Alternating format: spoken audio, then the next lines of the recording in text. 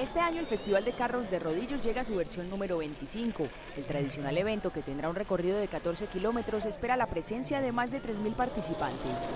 Una cantidad de carros que se construyen desde la creatividad de la gente, con las manos de la gente y es lo que hace que el festival sea un, evento netamente de ciudad. Para quienes no han realizado su inscripción o aún no han reclamado la acreditación, el INDER dispondrá de una nueva fecha para el efecto. El próximo 16 de octubre estaremos de 4 de la tarde a 7 de la noche en el INDER para que hagan su acreditación. Además de los carros de rodillos, ese día también habrá deportes de adrenalina sobre ruedas. La cita será este domingo 26 de octubre en el estadio El Sillotero en Santa Elena desde las 6 de la mañana.